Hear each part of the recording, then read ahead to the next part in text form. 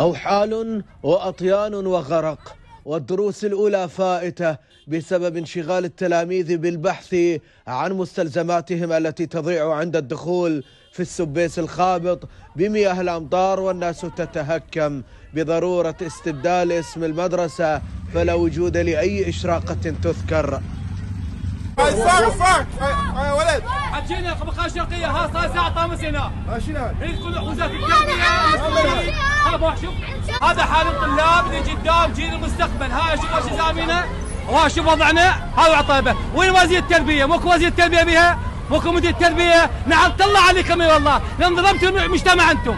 ما حطكم بالمكان المناسب. والله. وجاء مسؤول الناس سوا هذا حال الطلاب. من يقبض ضميره؟ يقبض ضميركم؟ بس ما تقطع الصوت ما تطلع لا تقطع الصوت هذا. هذا خل الصوت يوصل سبويس تبون هذا صحيان سبويس في حي طارق شرق القناة تنتعش حركة النقل عبر عربات الحيوانات التي يجد الناس أنهم مضطرون لتوصيل التلاميذ كوسيلة تبعدهم عن حالات الغرق التي تحدث بين صفوف أطفال المدارس. قل لك لا بالصومال ولا بالسودان ولا بجزر القمر أكو مدارس.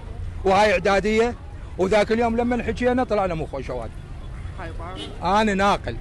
أنا ناقل وشباب شوف هاي كلها بنات كبار كلها بنات ناس. هذا عرض ناس. عم والله ملينا من الحكي وكلهم حرامية ونشالة. يبقون باسم هذا الشعب. انتخبونا وإحنا نسوي لكم انتخبونا وإحنا نحط لكم وهاي ننتخبهم يجيب لنا سبويس يقول ما ما جبل وين هذا الجبل؟ بس نريد نعرف الجبل وينه.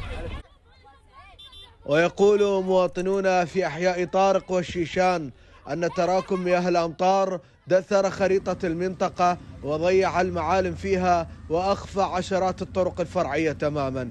للشرقية نيوز خطاب عادل بغداد.